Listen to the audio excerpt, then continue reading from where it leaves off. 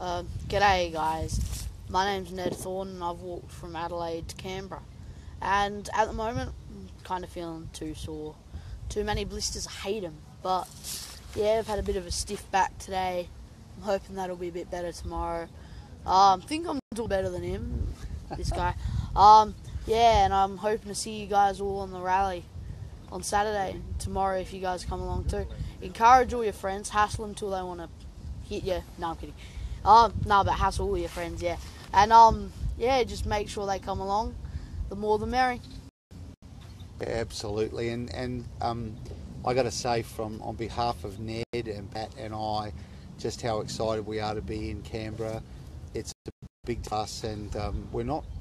We're actually still 25 k's out of Canberra, but we're done for the day, and we've actually just based in Canberra at the um, at the Epic Caravan Park.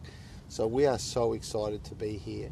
And if I could ask one thing of people, one of the purposes of coming was to put a petition together. And if people would be kind enough to go to our website, which is uh, www.aussieheart.iopol, that's I-O-P-O-L dot com. So aussieheart.iopol.com. There's a button there you can push to um, uh, get into uh, get into the petitions, and also there's a GoFundMe page, and even a couple of dollars on that. And the reason I'm, I'm asking is that we had a target to raise to help pay for some of the costs of the of the trip, and we're way out of pocket. We don't mind that. We reached our target, and we're happy with that.